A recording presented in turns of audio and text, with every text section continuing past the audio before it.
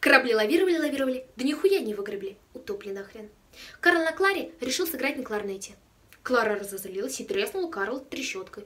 Карл двинул кони, но не до конца в больнице откачали.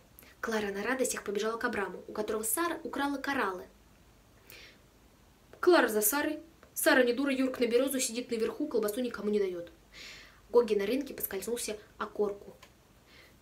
Летит, словно щепка, втемяшился в березу. Сара прямо на Гоги. Клара на Сару. Абрам за кораллами.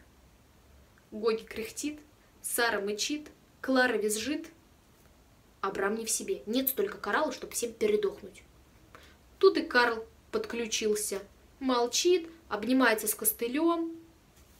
Дядя Степан, постовой на Тверской, длинный каки, свистнул свисток, все подскочили, в бухту помчались, прыгнуть на корабли, уходящие к счастью. Корабли лавировали, лавировали. Ну а дальше вы все сами знаете.